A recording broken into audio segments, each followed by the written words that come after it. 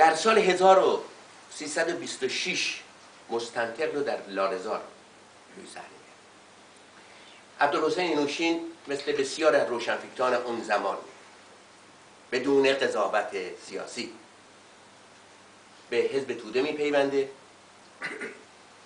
با اینکه حزب توده امکانات در اختیارش گذاشته بوده چند نظر تبلیغاتی چند نظر مالی وقتی تئاتری رو می‌سازن حزب یا کمیته مرکزی به او دیکته می‌کنه که اسم این تئاتر رو بگذار مردم.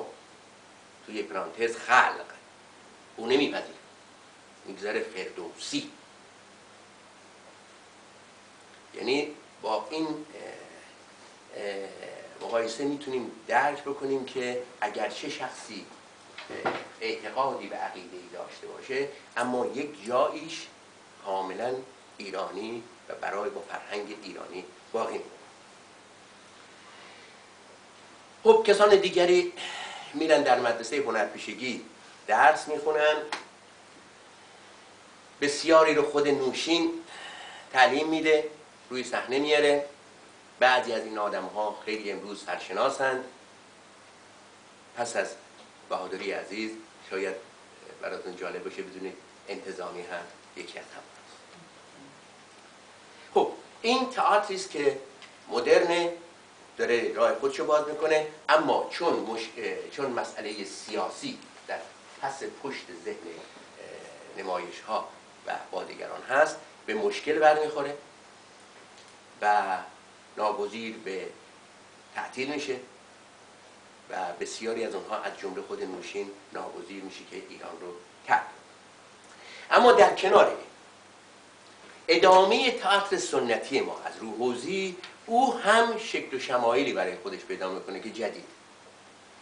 او هم شروع می‌کنه که برای اولین بار کارگردان ها یا صاحب صاحبان تئاتر خانواده خودشون میرن رو صحنه. تا اون زمان بازی کردن یک زن در روی صحنه مال فقط اقلیت های مذهبی مثل کلیمی ها و مسیحی ها اما حالا دیگه خود شخص خانواده زن بچه های خودش میره روی صحنه بنابراین یک ارزش اجتماعی پیدا می‌کنه. اگرچه بسیاری از متشرعین و کسانی که مخالف تحولات نوین بودند خب اسامی مختلف از جمله مطرب و این چیزا بود. این نوع تئاتر تئاتر کمیکه. یه مثال کوچیکی براتون بزنم که حالا بعد خود بهادری مفصل خواهد بود. مثلا آقای بوده به نام آقای معدب. این آقای معدب در میدون امین سلطان روی پشت بوم در تابستونا تئاتر میذاشته.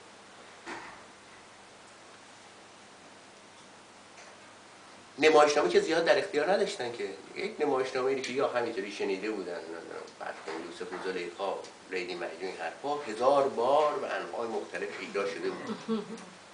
خب دیگه مردم چقدر اینو ببینن؟ احیانا می‌خواستن که چیز جدید